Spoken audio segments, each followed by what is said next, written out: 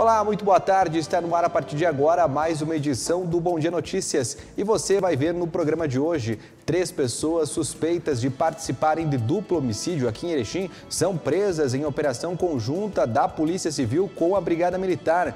Entre outros destaques, uma mulher e uma criança ficaram feridas em um acidente envolvendo uma caminhonete no interior de São José do Ouro. E também, Dom Admir Mazali faz troca de padres e diretores nas paróquias aqui da Diocese de Erechim. Você vai ver o que muda, como vai ficar agora a situação de cada pároco aqui da nossa região. Essas e outras notícias a partir de agora no Bom Dia Notícias, que já está no ar.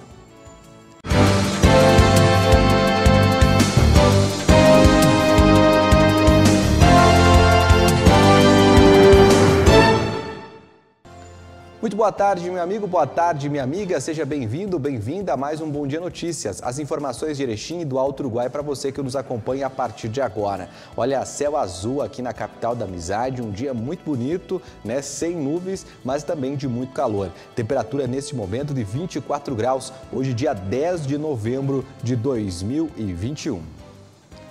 E nós começamos o nosso Bom Dia Notícias já falando para você que a polícia prendeu três pessoas suspeitas de participarem de um duplo homicídio. O crime ocorreu no fim do mês passado, no bairro Maria Clara, aqui em Erechim. Uma operação da Polícia Civil prendeu nesta terça-feira três pessoas suspeitas de participarem do assassinato de outras duas pessoas em uma casa no bairro Novo Atlântico, em Erechim. Os crimes aconteceram no dia 26 de outubro. Segundo testemunhas, um grupo criminoso que seria ligado a uma facção criminosa invadiu a residência e executou as vítimas. De acordo com a Polícia Civil, todos os presos são de Erechim, sendo um deles natural de Porto Alegre, mas que estava na cidade. Após prestarem depoimento, todos foram encaminhados ao presídio onde ficarão à disposição da Justiça. Segundo a polícia, apesar das prisões, as investigações seguirão em andamento, com o objetivo de identificar outros autores do crime. E uma briga entre irmãos deixou um deles feridos. O caso aconteceu em Erebango no fim de semana. Uma briga entre irmãos deixou um deles ferido na madrugada do último sábado em Erebango. O fato foi registrado pela Brigada Militar após o ferido dar entrada no Hospital São Roque de Getúlio Vargas com ferimentos nas mãos e na cabeça. A vítima foi socorrida pela ambulância do município e, logo após receber atendimento médico, foi encaminhada para a Delegacia de Polícia de Pronto Atendimento em Erechim. A Polícia Civil vai investigar agora o fato. Também em Erebango, uma outra briga, desta vez em um bar no município, deixou duas pessoas feridas. Elas receberam atendimento no Hospital São Roque. Duas pessoas ficaram feridas em uma briga que aconteceu em um bar na rua Olinda Walter, em Erebango. A confusão aconteceu na noite do último sábado. As vítimas foram feridas com facas e atingidas nas mãos, rosto e orelhas. A ocorrência foi registrada na Delegacia de Polícia de Pronto Atendimento de Erechim. Em depoimento, as vítimas disseram que não conseguiram identificar o agressor, pois estavam embriagadas no momento da briga. O caso está sendo investigado pela Polícia Civil de Getúlio Vargas. E um acidente entre uma, envolvendo uma caminhonete deixou duas pessoas feridas, uma mulher e uma criança. O caso aconteceu no interior de São José do Ouro. E a fatalidade só não foi maior porque, segundo os bombeiros, a motorista estava com cinto e a criança na cadeirinha. Uma mulher e uma criança ficaram feridas após a caminhonete em que elas estavam sair da pista e capotar na RS 477 em São José do Ouro na manhã dessa terça-feira. O acidente ocorreu próximo à comunidade de Marmeleiro, no interior do município. De acordo com os bombeiros voluntários, as vítimas tiveram ferimentos leves e conseguiram sair da caminhonete logo após o acidente. Isso porque a criança estaria na cadeirinha e a mulher utilizava o cinto de segurança no momento do impacto. A caminhonete modelo S10 parou em meio a uma lavoura. O acidente foi registrado pela Brigada Militar. E olha, um motorista foi preso após ser flagrado dirigindo embriagado e se envolver em um acidente. O fato aconteceu em Getúlio Vargas. Um motorista foi preso após ser flagrado dirigindo embriagado em Getúlio Vargas. De acordo com a Brigada Militar, o homem colidiu o veículo que conduzia contra uma cerca de uma casa na rua João Borman. Ao avistar a chegada da polícia, ele tentou fugir do local. O motorista foi levado para o hospital e logo após para a delegacia, onde o delegado arbitrou uma fiança de dois mil reais para ser liberado. Como ele se negou a pagar o valor, foi recolhido ao presídio estadual de Getúlio Vargas. Em Floriano Peixoto, um ônibus, ao tentar manobrar, acabou derrubando um poste e provocando danos em uma placa. Veja na reportagem. Um ônibus, ao tentar realizar uma manobra, atingiu na tarde do último sábado um poste, derrubando uma câmera e placas de sinalização no centro de Floriano Peixoto. De acordo com populares, o fato ocorreu na rua Alfredo Ducker. Apesar do susto, ninguém ficou ferido. O acidente foi registrado pela Brigada Militar. E olha, uma ação da Brigada Militar apreendeu ontem máquinas caça-níqueis no centro aqui de Erechim. Elas estavam em bares. Veja. Na manhã desta terça-feira, guarnições da Brigada Militar deslocaram até dois bairros localizados na área central da cidade de Erechim, a fim de averiguar denúncias de jogos de azar. Os policiais efetuaram diligências e encontraram em um dos bares oito máquinas caça-níqueis, sendo quatro tipo maleta e quatro tipo gabinete, 158 reais em moeda corrente, três câmeras de vídeo monitoramento e um aparelho DVR, e em outro mais quatro máquinas caça-níqueis tipo maleta. Diante dos fatos, os materiais ilícitos foram apreendidos e os policiais confeccionaram um termo circunstanciado, sendo os homens de 31 e 37 anos de idade ouvidos e liberados após se comprometerem em comparecer em juízo. E a Diretoria de Trânsito de Erechim confirmou que irá intensificar a fiscalização de trânsito, principalmente nos períodos do fim de semana. O objetivo é impedir aí que motoristas dirijam principalmente embriagados. Quem passa pelas ruas de Erechim desde o fim de outubro, nos finais de semana, está encontrando uma maior fiscalização por parte da Diretoria de Trânsito. De acordo com a entidade, os trabalhos, além de manter as leis, buscam cumprir o papel de educação no trânsito, levando orientação a motoristas e pedestres. Conforme um levantamento da Diretoria de Trânsito, em nove meses foram registrados 810 acidentes de trânsito com danos materiais atendidos pela diretoria e 252 acidentes com lesões corporais atendidos pela Brigada Militar em Erechim. Em dois fins de semana da operação, já foram fiscalizados 205 veículos, com 19 autuações e 24 autos de infrações, além de cinco veículos que foram recolhidos. E olha, em estação, um motorista foi preso dirigindo embriagado. Foi na noite dessa terça-feira, quando uma guarnição da Brigada Militar foi até a rua Lido Tagliari, a fim de atender um acidente de trânsito com danos materiais. Os policiais efetuaram contato com o motorista que apresentava visíveis sinais de embriaguez, sendo então convidado a realizar o teste do etilômetro que teve resultado positivo para ingestão de álcool. Diante dos fatos, o homem de 43 anos de idade foi preso. Ele foi conduzido, levado para a delegacia Delegacia de Polícia aqui de Erechim para os procedimentos cabíveis. E olha, o bispo aqui de Erechim, Dom Admir Mazali, comunicou a transferência de padres a partir de 2022. É destaque no site do jornalbomdia.com.br. Essa é a maior transferência que acontece aí é, nos últimos anos na diocese aqui de Erechim. Olha aí, uma reunião com padres e diáconos da diocese de Erechim nessa terça-feira, 9, o bispo Dom Admir Mazali comunicou sobre as mudanças e transferências que serão efetuadas a partir do fim do mês de janeiro do próximo ano. Por isso, nós preparamos uma arte para mostrar para você como vai ficar as mudanças a partir de agora. Está aí na sua tela. Olha, o atual pároco da paróquia Santa Luzia, no bairro Atlântico, padre José Carlos Sala, foi nomeado como novo reitor do seminário e santuário Nossa Senhora de Fátima. Ele vai substituir o padre Walter Girelli.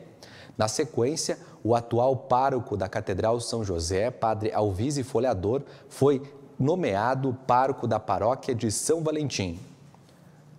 O padre Claudino Talasca foi nomeado pároco da paróquia São Francisco de Assis, no bairro Progresso. O atual pároco da paróquia São Francisco de Assis, no bairro Progresso, o padre Jossi Golembieski, foi nomeado pároco da paróquia São Luís Gonzaga de Gaurama. O atual reitor do Seminário de Fátima, padre Walter Girelli, foi nomeado pároco da paróquia Nossa Senhora dos Navegantes, em Campinas do Sul. O atual pároco lá de Campinas do Sul, o atual, na verdade, atualmente residindo no lar sacerdotal, padre Edinaldo Santos Bruno, foi nomeado como vigário paroquial na paróquia Nossa Senhora dos Navegantes, em Campinas do Sul. O atual pároco da paróquia Nossa Senhora do Rosário, em Barão de Cotegipe, padre Jarcir Calesco, que é coordenador da pastoral, foi nomeado pároco da paróquia Nossa Senhora Aparecida, no bairro Bela Vista, aqui em Erechim. O atual reitor do Seminário Maior São José em Passo Fundo, padre Clair Favareto, foi nomeado pároco da Catedral São José, aqui em Erechim. O atual pároco da Paróquia Sagrado Coração de Jesus de Paulo Bento, padre Gilson Samuel, foi nomeado pároco da Paróquia São Pedro, aqui em Erechim. O atual pároco da paróquia São Francisco de Assis de Mariano Moro, padre Paulo Calvila, foi nomeado pároco da paróquia Santa Luzia, no bairro Atlântico, aqui de Erechim. O atual vigário paroquial de Aratiba, padre Maximino Tiburski, foi nomeado pároco da paróquia São Francisco de Assis, em Mariano Moro.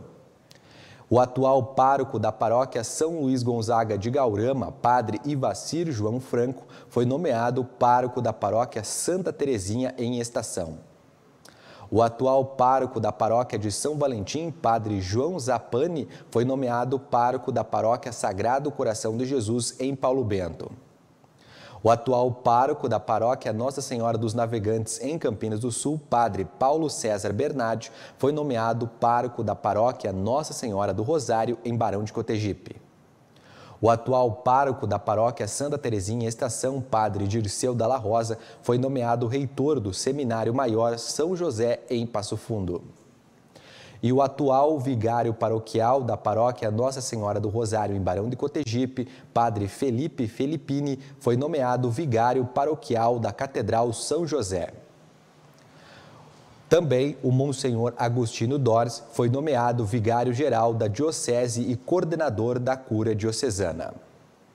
O atual vigário paroquial da Catedral São José, padre Cladir Giacomel, continuará como vigário da paróquia da Catedral e capelão do Santuário a Nossa Senhora da Santa Cruz.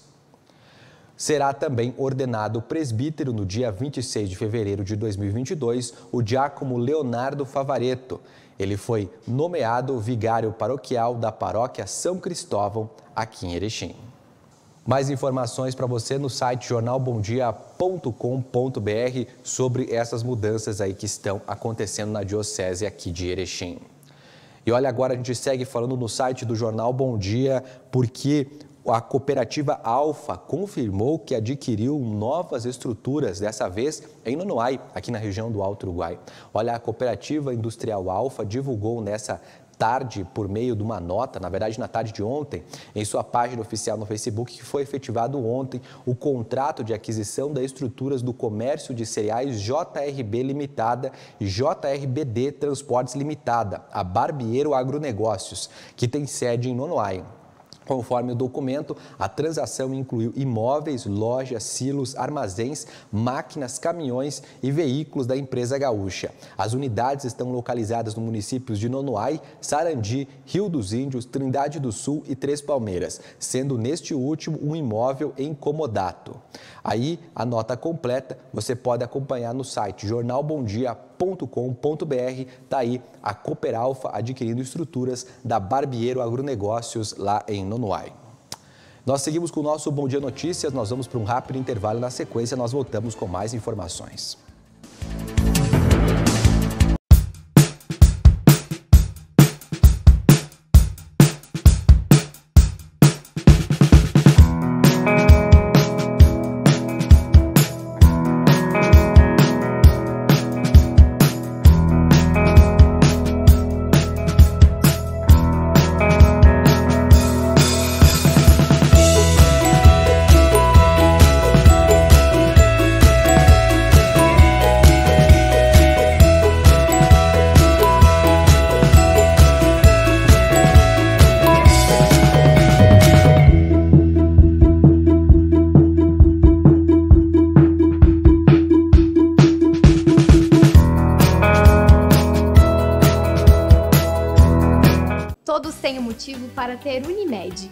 Cuidar da saúde dos nossos funcionários, contamos sempre com o trabalho da Unimed.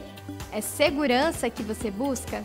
Nos 50 anos da Unimed Erechim, você contrata um plano de saúde com 50% de desconto nas cinco primeiras mensalidades. Planos empresariais e familiares com abrangência regional sem taxa de inscrição. Unimed Erechim, cuidar de você, esse é o plano. Todos têm um motivo para ter Unimed. Para curtir a vida, eu preciso cuidar bem de mim, por isso eu escolhi a Unimed. É qualidade de vida que você busca? Nos 50 anos da Unimed Erechim, você contrata um plano de saúde com 50% de desconto nas cinco primeiras mensalidades. Planos empresariais e familiares com abrangência regional sem taxa de inscrição. Unimed Erechim, cuidar de você, esse é o plano. Todos têm um motivo para ter Unimed. Cuidar de mim e da minha família ficou muito mais fácil com a Unimed. É tranquilidade que você busca? Nos 50 anos da Unimed Erechim, você contrata um plano de saúde com 50% de desconto nas cinco primeiras mensalidades. Planos empresariais e familiares com abrangência regional sem taxa de inscrição. Unimed Erechim, cuidar de você, esse é o plano.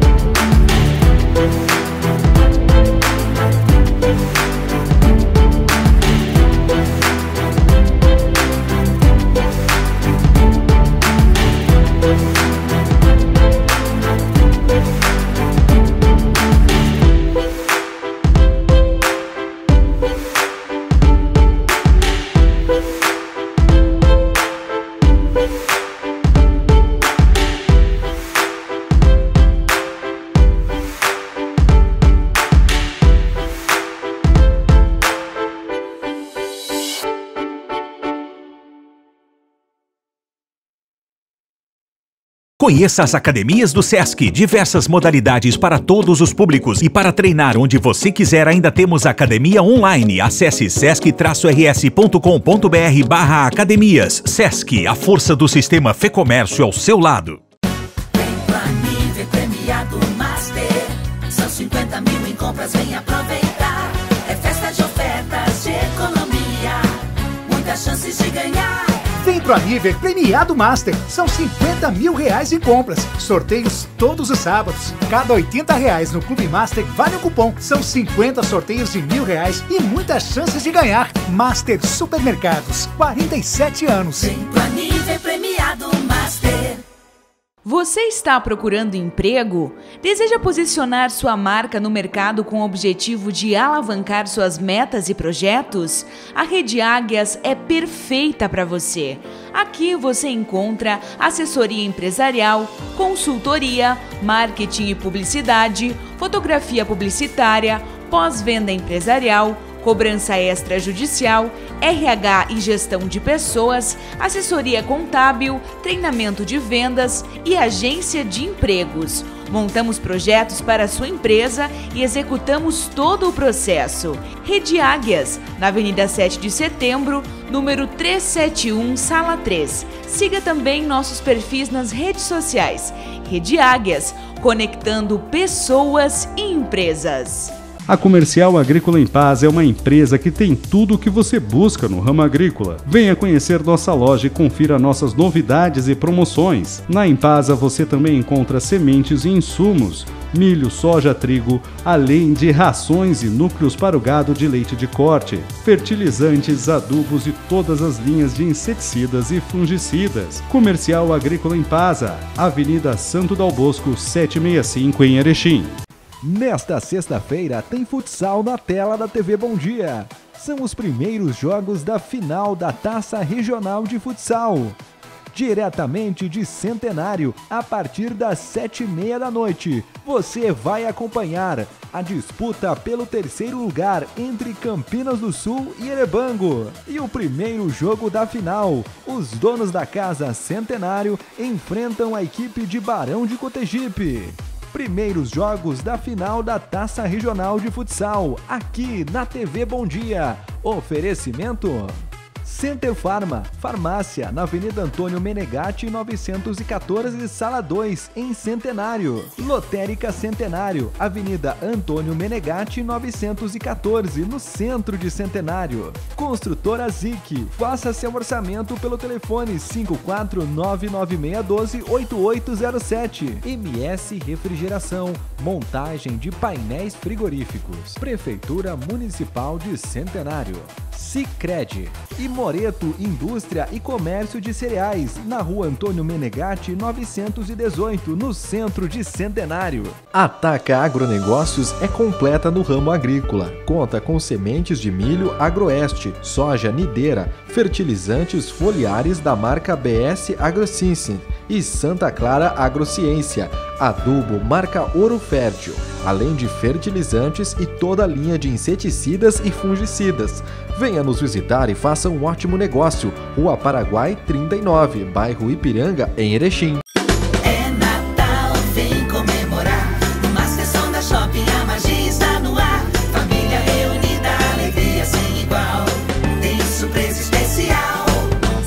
Surpresas de Natal Master Som da Shopping. Concorra a 5 vales presente de R$ 2.500 para celebrar o Natal com presentes de lojas surpresas do shopping. A cada 50 reais em compras, ganhe um cupom.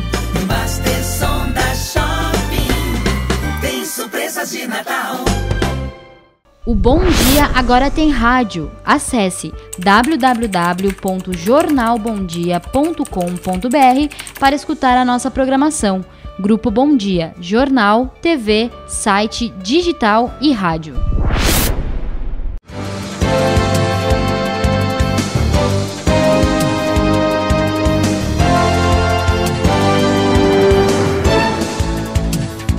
Estamos de volta com o nosso Bom Dia Notícias. Obrigado pelo carinho da sua audiência. E agora eu tenho um recado importante para você que está pensando em comprar, vender ou alugar um imóvel. Olha, a Solar Imóveis é imobiliário de confiança e qualidade, que tem sempre as melhores opções para quem quer uma casa maior, um apartamento com mais espaço ou o local ideal para sua loja, o seu escritório, porque não a sua indústria. Visite agora mesmo a Solar Imóveis no centro aqui Erechim, pertinho da Caixa Econômica da Sete, ou então acesse o site solarimóveis-rs.com.br. Só no site da Solar você vê as fotos, imóveis, condições de pagamento e documentação necessária, tudo que você precisa saber na hora de comprar, vender ou alugar um imóvel. Não perca tempo, tá bom? Compra, venda e locação de imóveis é na Solar Imóveis. Muito bem, meu amigo, muito bem, minha amiga. Seguimos com as informações aqui da nossa região. E olha, atenção, papai e mamãe do ensino fundamental, porque começou o período de rematrícula das escolas municipais aqui de Erechim. Seguindo com os cronogramas de matrículas e rematrículas do Sistema Municipal de Ensino, começou nesta semana o prazo para as rematrículas dos estudantes do ensino fundamental das escolas municipais de Erechim. Os pais ou responsáveis desses estudantes têm até o dia 12 de novembro para comparecer às escolas e atualizar os dados como RG, CPF e comprovante de residência. As matrículas e rematrículas dos estudantes do ensino de educação de jovens e adultos UEJA serão as próximas e acontecerão entre os dias 22 e 26 de novembro. E olha, foram homenageados na última, na última semana os novos associados e também os membros do Rotary Club aqui de Erechim. O evento aconteceu no Blue Open Hotel. O Rotary Club de Erechim realizou na última semana a segunda reunião festiva do ano no Hotel Blue Open. Na ocasião, foram feitas as posses dos novos integrantes, além de homenagens a educadores e rotarianos com mais de 50 anos de trabalho. Também foram realizadas as homenagens outorgadas pela Governadoria do Distrito 4700 e pelo clube, intitulada como Exemplo de Educador a Paulo José Esponquiado, professor da Unicampus de Erechim, e Beatriz Terezinha Lazarotto, professora administrativa da 15ª Coordenadoria Regional de Educação. No fim, ocorreu uma homenagem especial do Rotary Internacional, da Governadoria do Distrito 4700 e do Rotary Clube de Erechim ao rotariano Maximino Jacinto Tormen, que completou em abril mais de 50 anos de participação ininterrupta no clube. Da mesma forma, ao rotário Pedro Paulo Esponquiado, que em 9 de dezembro completará 61 anos de clube. Os dois receberam troféu e certificado de méritos dos membros do Conselho Diretor, presidente Roberto Ferron, vice-presidente Leonardo Kozak, conselheiros Gilmar Fiebig, Paulo José Esponquiado e Beatriz Terezinha Lazarotto. E olha, em Erechim foram aprovados já até o momento 1.108 projetos em 10 meses. O resultado foi celebrado pela Secretaria de Obras Públicas aqui de Erechim. A Prefeitura de Erechim, por meio da Secretaria de Obras Públicas, Habitação, Segurança e Proteção Social, já aprovou até o fim do mês de outubro 1.108 projetos de edificações, entre eles de residências, prédios, pavilhões, ampliação de comércio, remembramento, parcelamento de solo, loteamentos, planilha de individualização, entre outros. Segundo dados do Sindicato da Indústria de Construção e Imobiliária de Erechim, em 2020 o total no ano foi de 697 projetos aprovados. Por isso, os dados já representam um saldo positivo. Atualmente, a pasta estima uma média de 10 dias para o procedimento da liberação de um projeto. O prefeito de Erechim, Paulo Polis, destacou o trabalho feito com celeridade e a desburocratização na análise dos projetos. Para ele, esse processo otimizado é fundamental porque vai refletir na geração de empregos e novas oportunidades para a economia local. E olha, Erechim realizou no fim de semana a mostra de dança que aconteceu no Centro Cultural 25 de Julho. Grupos de toda a região do Alto Uruguai puderam participar. A Prefeitura de Erechim, por meio da Secretaria de Cultura, Esporte e Turismo e o Colegiado Setorial de Dança, realizaram no último domingo a Mostra de Dança Erechim 2021. O evento contou com o apoio do Conselho Estadual de Cultura do Rio Grande do Sul e da Associação Gaúcha de Dança, além do Centro de Belas Artes Oswaldo Engel, cultural, técnico e profissional. Ao todo, foram 23 performances apresentadas no palco do Centro Cultural 25 de Julho. Vamos agora ao comentário do Igor Miller. Te liga, a opinião você também vê aqui.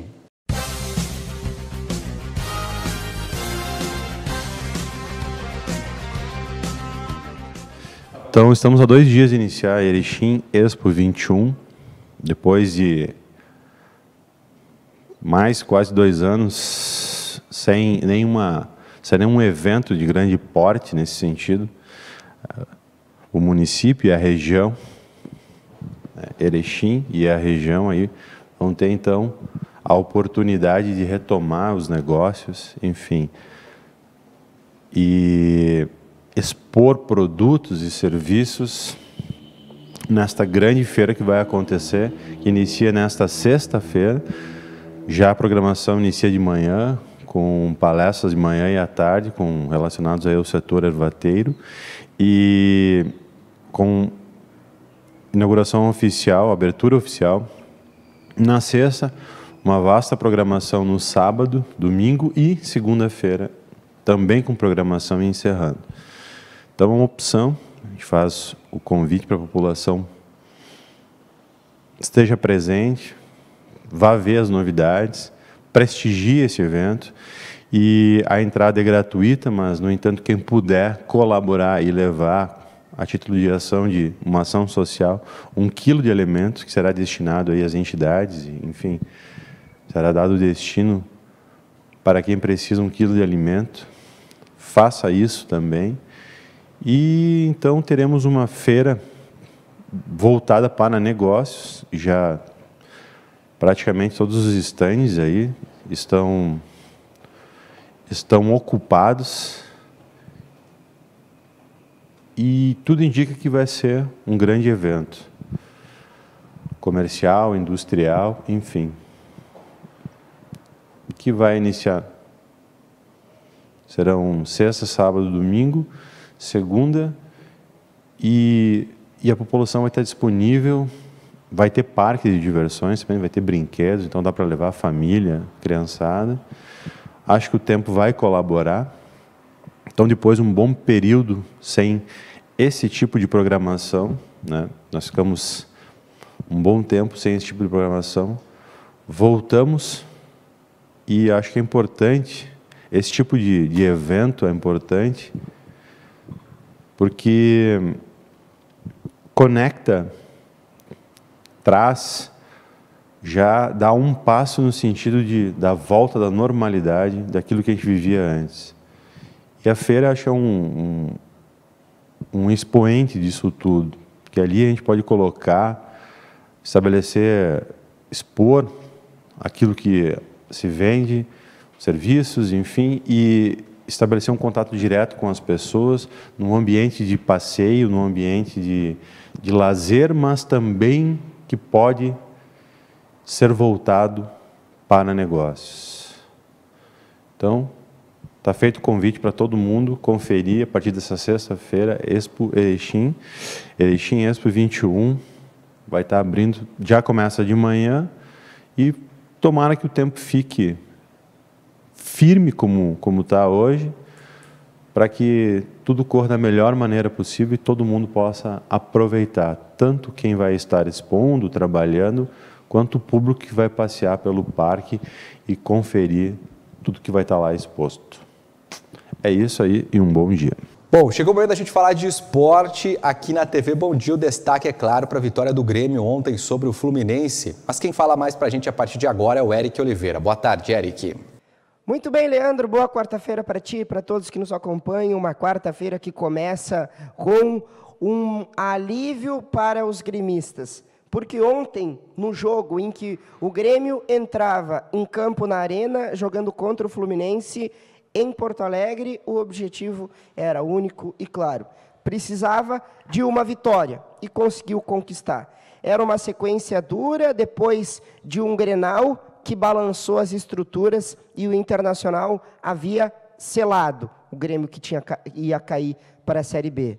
Mas o futebol às vezes coloca pontos de interrogação em frases que parecem afirmações.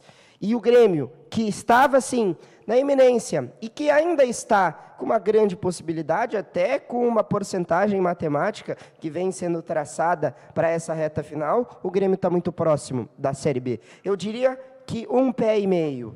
Agora, o futebol, às vezes, ele apresenta circunstâncias que podem fazer com que uma reviravolta aconteça em apenas 90 minutos. Não estou dizendo que isso vai acontecer, porque aqui ninguém tem bola de cristal. É preciso esperar o que vai acontecer posteriormente, para depois nós sabermos se o Grêmio vai cair ou se o Grêmio vai conseguir a façanha e que nesse momento eu compactuo como um milagre, que é escapar do rebaixamento. Restam agora algumas rodadas, oito partidas, e o Grêmio precisava vencer seis delas, nove partidas, agora restam oito precisava vencer seis, agora precisa vencer cinco. Ainda há quem diga que em uma projeção o Grêmio pode vencer quatro, empatar mais uma, precisa secar o Santos, que inclusive joga hoje. Santos enfrentando o Bragantino, hoje, em São Paulo. E o Bahia, que são dois adversários que nesse momento estão fora do Z4. Então, além de fazer a sua parte, o Grêmio precisa esperar de resultados paralelos para conseguir talvez diminuir essa distância e encurtar dessa distância, aí o Grêmio pode se apegar ao, a algum resultado um pouco mais confortável. Eu prefiro trabalhar naquilo que é mínimo, que são mais cinco vitórias. Vai ser fácil? Eu diria, e reiterando aquilo que falei, que é muito difícil. É desesperadora a situação e o cenário é caótico. Mas vamos lá para o jogo, porque o Wagner Mancini havia fracassado diante do comando técnico do Grêmio. E em caso de um resultado adverso, uma derrota ou até mesmo um empate ontem, talvez a sua condição dentro, da, dentro do Grêmio, no comando, né, à frente da casa mata do tricolor, pudesse ser atingido e talvez houvesse uma mudança. Aliás, mais uma, do lado do departamento de futebol do Grêmio, mas que não aconteceu. Foram cinco jogos, uma vitória contra o Juventude, uma derrota contra o Atlético Goianiense, uma sequência de derrota contra Palmeiras, contra Atlético Mineiro e depois contra Internacional. Então, de cinco jogos, ele havia vencido apenas um, tinha perdido quatro. Nessa, nessa análise, fracassou. Havia fracassado. Mas nesse jogo é um jogo do respiro. E agora quando se aproxima a reta final do campeonato, agora precisa se apegar a algo para tentar escapar. E ele fez mudanças, como ele prometeu, o Wagner Mancini tinha prometido e fez mudanças que foram reparadas, notáveis na própria escalação do Grêmio. Um Jeromel voltando à zaga, uma atuação impecável do Jeromel. Ah, teve um erro pontual. Jeromel, mais uma vez, como foi, num passado recente, um jogador decisivo para o Grêmio, no seu sistema defensivo, com Sarará, Elias e Campas. O Diogo Barbosa na lateral esquerda e o Wanderson na lateral direita, novos nomes. Ele tentou algo diferente. E foi assim que conseguiu. Mesmo que tivesse sido inferior ao seu adversário, o Fluminense, em alguns momentos. E no momento ruim, parece que a lógica inverteu, porque o Grêmio tinha sofrido sofrido com lances de arbitragem, com polêmicas, ou até mesmo com aquilo que eu falei, que é a falta de sorte de ter gols anulados, dessa vez parece que virou a favor do Grêmio. Fluminense teve gol anulado e na sequência, aquele mesmo Diego Souza, criticado, fez o gol de cabeça. Ah, porque o Diego Souza, uns vão defender, outros vão criticá-lo. Mas ontem ele fez a sua parte. Ontem ele foi decisivo e fez o gol que decretou a vitória do Grêmio. São vários pontos que podemos analisar e o Wagner Mancini o fez e tentou dar algumas explicações na coletiva após o confronto. Vamos ouvir uma fala do técnico do Grêmio. Olha, não tenha dúvida que essa é uma vitória que nos traz, acima de tudo, muito alívio, né? Porque nós sabemos aquilo que nós estamos vivendo, o quanto a gente está trabalhando, é, o quanto desde que nós chegamos, a gente tem tentado conversar, é, saber dos atletas e tentando identificar o mais rapidamente tudo aquilo que a gente vê como dificuldade dentro de uma partida de futebol. É, então, hoje a vitória era fundamental. Era muito importante para que a gente pudesse voltar a sonhar da forma como a gente sonha todos os dias. É, mas depois de uma sequência de derrotas, onde eu tinha visto evolução na equipe e falei isso nas entrevistas e até fui questionado pelos resultados. Hoje a gente viu a equipe novamente jogando bem, é, chutando 25 bolas a gol, o que é uma marca expressiva. Então, diante desses números, eu posso afirmar a evolução. Mas a evolução, ela também ela tem que contar com a somatória de pontos, porque neste momento a gente está necessitado disso. Então eu vi uma equipe que mesmo modificada por algumas peças como opção, em outras por suspensão, a gente viu um Grêmio com intensidade nos dois tempos, né? Alguns atletas aparecendo pela primeira vez desde que eu cheguei aqui mas é, que se doaram ao máximo. O grupo de jogadores está de parabéns, o elenco está de parabéns, porque no momento onde a gente precisou resgatar alguns atletas, eles estiveram em campo hoje, deram o máximo que puderam e ajudaram na, na, nessa construção de uma, de uma vitória é, que, neste momento, volto a dizer, nos traz alívio.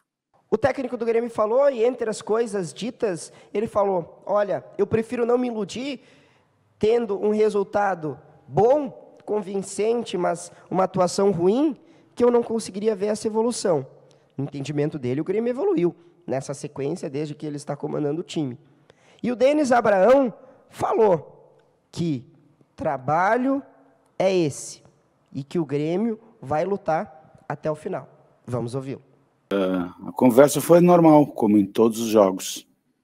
Não foi nada diferente, uh, os resultados não foram bons, mas as partidas disputadas pelo Grêmio foram com altíssima intensidade e com evolução tática e técnica em todas elas. Vocês mesmos comentaram o quanto tinha sido jogado o Grêmio, tinha melhor, tinha jogado o Grêmio contra o Atlético Mineiro. Contra o Internacional, tomamos um gol, tivemos algumas oportunidades, o goleiro dele foi, foi feliz, e a gente não analisa somente o resultado da partida aqui no Grêmio, nós analisamos o todo. O todo é muito mais importante que o resultado. Para nós é assim aqui. E aqui não somos 11, aqui nós somos uns 50 mais ou menos, aqui é uma família. Todo mundo trabalha muito duro, o, a direção, o, os jogadores, a comissão técnica, os funcionários, a torcida, isso aí é uma, é uma energia positiva que passa para a gente aqui. A gente está cansado, mas está feliz. Nós não conseguimos, não, não, não avançamos nada. Não fizemos mais que a nossa obrigação com o torcedor do Grêmio. Vencer, estarmos vivos, disputando palmo a palmo com todos os adversários. É difícil? É. Mas nós acreditamos. E nós vamos continuar lutando como eu sempre disse, nós vamos sangrar, nós vamos sofrer, mas assim que a história do Grêmio for construída. E é dessa forma que nós vamos, se Deus quiser, conseguir sair dessa fase nefasta. O vice-presidente de futebol do Grêmio, mais uma vez, dando aquelas mesmas chamadas para a torcida do Grêmio. E aí, quando tu tem um clássico Grenal em que o seu adversário comemora como se algo já estivesse terminado, porque o Internacional colocou o fim na chance do Grêmio seguir vivo na Série A. Daqui a pouco pode ser.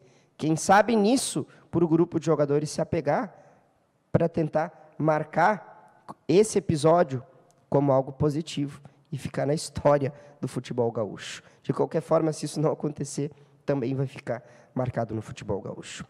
Pois bem, Leandro, quarta-feira também de jogo decisivo para o Internacional, que depois da vitória no Clássico, nessa quarta-feira, entra em campo na Serra Gaúcha, em Caxias do Sul, enfrentando Juventude, jogo que acontece às 21 horas e 30 minutos. Um duelo em que, de certa forma, também coloca o Grêmio com algumas atenções, porque o Juventude também é adversário na briga contra o rebaixamento. O Internacional, depois da vitória no Clássico, não conseguiu chegar no G6, mas observa o Corinthians, o Fortaleza, com olhos muito atentos.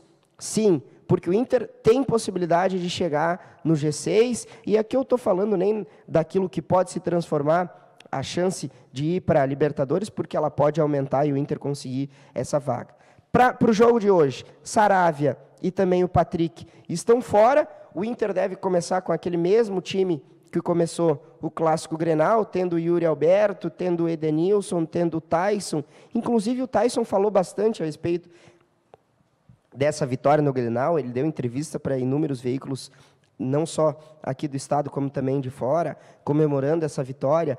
E é o momento. O Tyson foi um jogador que contribuiu com o Internacional, até mesmo quando um técnico que estava aqui não vinha dando nenhuma resposta tática e o Tyson era o principal jogador e hoje vem marcando protagonismo que o Internacional nesses últimos anos estava precisando, que era uma carência do time do Inter, não só em campo, porque tinha bons jogadores, o próprio Edenilson é um bom jogador, aliás, um ótimo jogador, diga-se de passagem. Mas o Inter tinha uma carência de jogadores que botassem a bola debaixo do braço, chamassem para a responsabilidade, que vestissem a camisa do Internacional como um jogador identificado. E é o caso que o Tyson tem feito, decidiu o Grenal e agora vem para dar, dar, dar, sequência até o final da temporada e no ano que vem, se continuar nessa boa toada, o Inter tem tudo para vir forte nas competições. E o próprio presidente Alessandro Barcelos, depois do Grenal, falou isso. Olha, nós aqui estamos pensando no Inter. Nós sabemos o tamanho que é o Internacional e estamos trabalhando para conseguir a vaga direta da Copa Libertadores. Para quê? Porque o ano que teve em 2021, que foi uma temporada péssima, para tentar não repetir esses erros no ano que vem, para ter o um Inter disputando Libertadores, para ter o um Inter disputando lá em cima a Copa do Brasil não eliminado precocemente, e também no Campeonato Brasileiro, já que dessa vez não deu. E quem sabe, espero que consigam dar sequência, mas precisa ainda focar no agora. E o jogo contra o Juventude pode ser um jogo para o Inter encaminhar mais três pontos e ficar nessa, nessa luta. E eu, particularmente, acho que o Inter vai conseguir essa vaga. Por quê? Porque o G6, que é G6 agora, vai se transformar em G7, G8. Então, se não conseguir uma vaga direta, pode conseguir de forma preliminar. Essa é a minha opinião. Vamos ver o que acontece hoje e ficar na torcida para que o Colorado consiga fazer uma boa atuação contra o Juventude, que é um clássico gaúcho. Muito bem, Leandro. Uma semana do Ipiranga, que agora já deu férias para seu grupo de jogadores, para o treinador. O presidente Adilson, ontem, em alguma conversa que tive com ele, disse que já estão começando a pensar em, em, em re, remodular, remodular para o ano que vem alguns jogadores. Já iniciou conversas para a permanência do técnico Júnior Rocha. Tentei entrar em contato com a assessoria do treinador para, quem sabe, conseguir uma entrevista. Ele está de férias. Quem sabe, nessa semana, nós conseguimos um contato com o técnico do Ipiranga. Todo mundo sabe que houveram investidas para o técnico ainda no decorrer do Campeonato Brasileiro, e não foi nessa reta final, foi no início do retorno, se não estou enganado, no início do retorno. Então, é difícil que o técnico fique, mas pode acontecer. Ele teve um ano muito bom, todo mundo lembra daquela entrevista, quando ele veio aqui nos estúdios do Jornal Bom Dia e falou: vou ficar até 2021 e, quem sabe, para 2022. Mas é um ótimo técnico, é um dos melhores, na minha opinião, o melhor que eu vi aqui comandando o Ipiranga, e os jogadores vão começar a receber propostas, claro, para uma renovação de contrato para o ano que vem. Agora nós já começamos a pensar em 2022. Um reflexo daquilo que eu falei ontem, do que foi feito em 2021, a partir de agora começa a ser feito. Mas eu aqui vou falar e enfatizar aquilo que havia falado desde o início, que o Ipiranga fez uma temporada muito boa, perto daquilo que se imaginava, do investimento que tinha e do que poderia ser feito. Então, para mim, foi admirável. Leandro, um abraço para ti e voltamos amanhã para falar mais sobre esporte. Um abraço para ti e boa quarta-feira para todo mundo. Muito bem, gente. Mais informações sobre esporte no site jornalbomdia.com.br esportes para você. Vamos agora conferir como fica a previsão do tempo hoje, ou a Clima Tempo.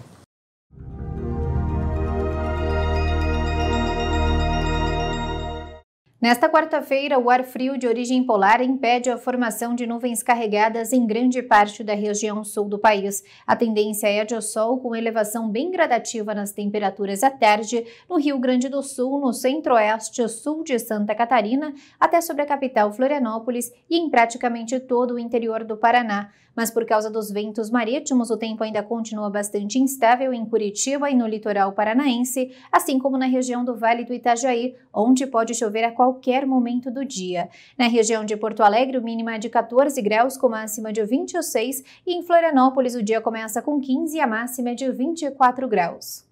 Muito bem, meu amigo, muito bem, minha amiga. O Bom Dia Notícias de hoje fica por aqui. Você pode rever esses e outras, essas e outras notícias no site www.tvbomdia.com. Um ótimo dia para você, tudo de bom e eu te encontro amanhã neste mesmo horário com mais notícias. Até lá, tchau, tchau.